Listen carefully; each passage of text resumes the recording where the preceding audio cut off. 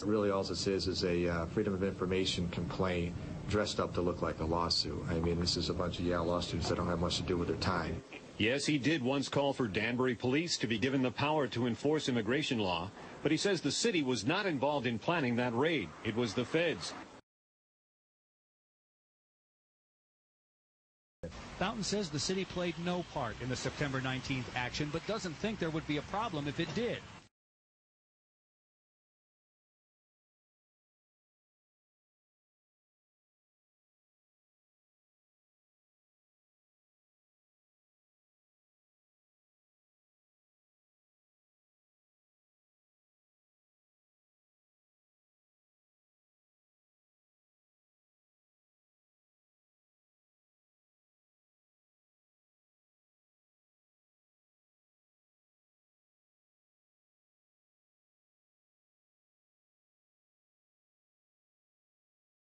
The arrests were part of a sting operation. A Danbury police officer posed as a contractor and drove a van to Kennedy Park. This is where he picked up workers willing to help tear down a fence. La sorpresa nosotros cuando bajamos The surprise was when we when we got out of the van, we were we were surrounded by a bunch of men, and we were surprised and frightened because we didn't know what was happening. The lawsuit claims Danbury police overstepped their bounds by trying to enforce federal immigration law. Ted and Ann, this is where that sting was carried out, where those 11 workers got into a van driven not by a contractor, but by a police officer. A sting, an operation that a lawsuit filed today says was illegal.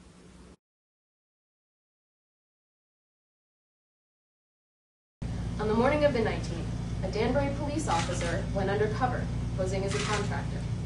He deceived day laborers at Kennedy Park into thinking he had a job for them. He drove them to a parking lot where they were immediately surrounded, arrested, and placed in police custody. No questions asked. The sting operation was conducted with no specific targets in mind. The undercover officer picked up whomever he could get in the crowd of Latino day laborers. He had no idea of the plaintiffs' names, where they were from, or what their immigration status might be. All he knew was that they were Latino day laborers standing in a place that the city didn't want them to stand. Without a formal agreement with ICE, which Danbury does not have, local police lack the authority to make civil immigration arrests.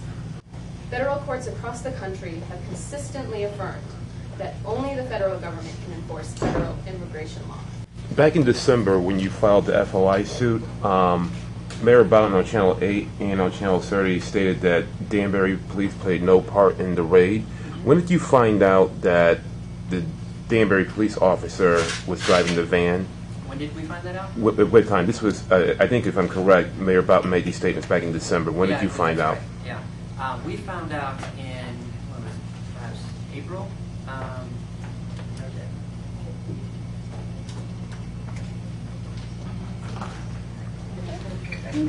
That's right. So um, actually, we've learned this in the immigration proceedings where we're seeking to suppress the unlawfully obtained evidence. The, the government, uh, in their brief that they submitted to the court, actually said that it was a Danbury police officer driving the van. And so, uh, according to ICE, um, it was a Danbury operation.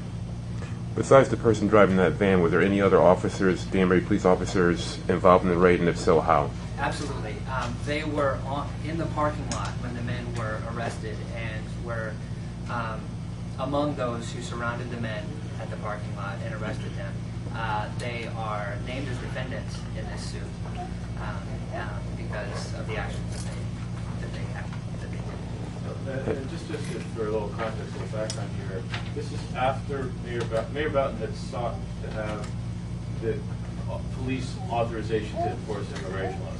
It was told by the state government or the federal government that, State that- State government. the state government that they could not do that. That's right. So if what you're saying is true, did, it- did, if, if the inv- involvement of Danbury police offic- uh, officers is what, is what you're saying it is, uh, does that violate state law, federal law, and, and Well, It violates. What does the- that show? It violates the Fourth Amendment because it means they didn't have the authority to make the arrest that they carried out. And that's what we're alleging in, in, this complaint. Um, you're absolutely right that the mayor has sought the authorization. Um, actually, he wanted to have state officers, state, um, uh, sorry? State troopers um, deputized to this memorandum of understanding and was denied. Um, the governor of Connecticut, Jodi Rell, decided that it was bad policy. Um, and so you're absolutely right that he, the mayor knows and the police chief knows how they know how one would go about enforcing uh, civil immigration law at the local level, and it's only through this memorandum of understanding. Um, and yet they decided, for whatever reason, to do it anyway, uh, which is why we're being sued. Has the mayor clarified a statement that he made in December? Uh, not to our knowledge, no. No.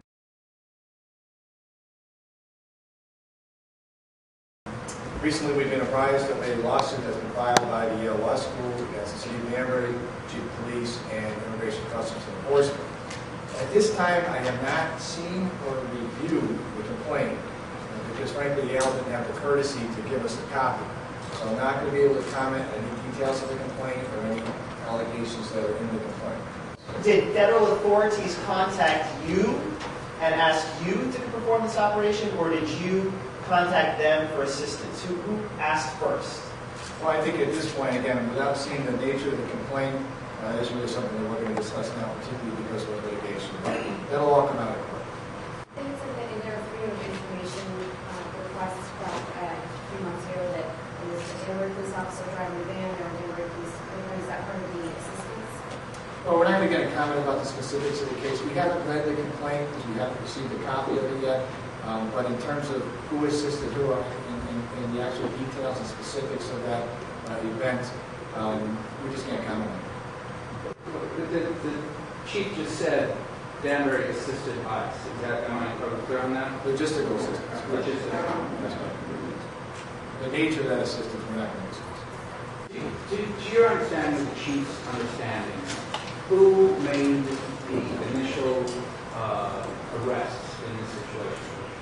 Again, that's a a detail of the operation we're just not going to discuss with you, Mark. We need to read. Because that's a very public thing. I mean, Well, I mean, you know, who made the arrest? You or I? Well, you know, there's differing opinions on that, but we're not going to, we're not going to comment on that because we haven't read the complaint. We certainly don't know what the uh, nature of the complaint is.